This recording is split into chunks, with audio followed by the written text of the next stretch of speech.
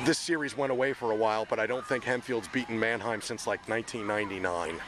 What does this mean to you guys to finally beat them after not playing them for a while, but to come back and beat them in a game like this? What's that mean?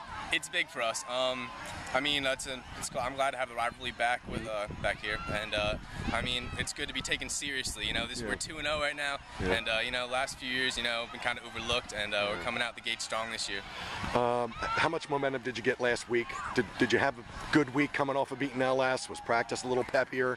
Did you feel good coming into this Actually, game? was kind of kind of like eh, kind of like down this this week. I don't I don't know what it was about, but when it was time to play, we came out and played. So I mean, that, that worked out. Okay, I thought you had a gazillion third down conversions tonight, especially like early, early second half. When you guys had to have a third down, you got it. How huge is that? What's that do for your confidence when you convert, you suck clock, and keep the chains moving? What did that mean to you? I mean, uh, keeps drives alive, and uh, I just got to shout out to my offensive line. They they were they kept going throughout the entire game. They warmed down, warmed down, warmed down. Okay. And uh, I mean, at the end of the game, we were taking big chunks of yards every time we ran up the middle. Your line's been good now two weeks in a row, Oh yeah. and you tip your cap to that group. How, how good have they been, and what do they mean to you? Because you got to have the boys in the middle. I love them. I love every single one of them. They, they know that. I tell them every week. Um, I mean, uh, there's just, just not, there's no thing I can do to repay them for what they do for me. I mean, Okay. they're the only reason I can do what I can do. Are you? It's early. That's two games. But are you looking at what Wilson's doing? Are you looking at what Catholic's doing in Roman? Are you looking at Penn Manor? Or are you just worrying about Hempfield? Take care of our business. Let's get get to those games so they are big.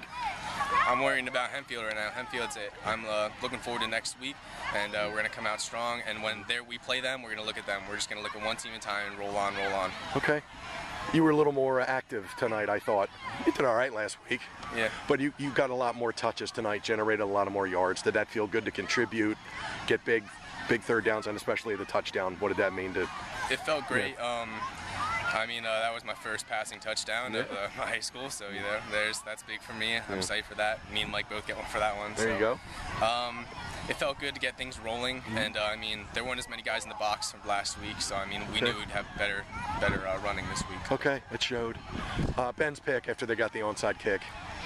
That's the ball game. What a huge play by him. Just talk about that for me. Uh, I freaked out. Um, I was over the sideline, saw that ball go up, and I was like, no, no, no, no. Picked it, and Yeah. game over. I mean, Ben had two, so Two picks. Two picks this game. It's huge. Yeah. I mean, that's that's probably the biggest thing this year. Different. I mean, we got we're getting more turnovers. We we're at, we're at a huge plus Yeah, already you are. Yeah, five last week, four or five tonight. That's a big number. Then we got one one turnover on our side, right? For, I think. uh, two weeks. Yeah.